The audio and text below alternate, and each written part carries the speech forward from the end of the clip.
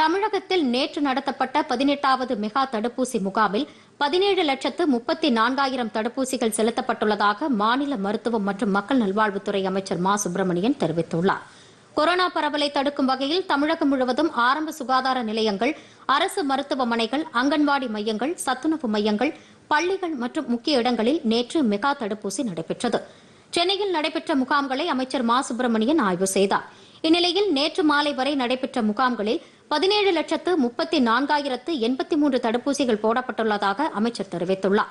முதல் தவணையாக ஐந்து லட்சத்து எழுபத்தி ஓராயிரத்து எழுநூற்றி தொன்னூற்றி ஐந்து பயனாளிகளுக்கும் இரண்டாவது தவணையாக பதினோரு லட்சத்து அறுபத்தி இரண்டாயிரத்து இருநூற்றி எண்பத்தி எட்டு பயனாளிகளுக்கும் தடுப்பூசி போடப்பட்டதாக தெரிவிக்கப்பட்டுள்ளது. தமிழகத்தில் இதுவரை தகுதி வாய்ந்த மக்களில் எண்பத்தி ஏழு புள்ளி பூஜ்ஜியம் மூன்று சதவீதத்தினர் முதல் தவணையாகவும் அறுபது புள்ளி பூஜ்ஜியம் ஒன்று சதவீதத்தினர் இரண்டாவது தவணையாகவும் தடுப்பூசி செலுத்திக் கொண்டுள்ளதாக அரசு தெரிவித்துள்ளது.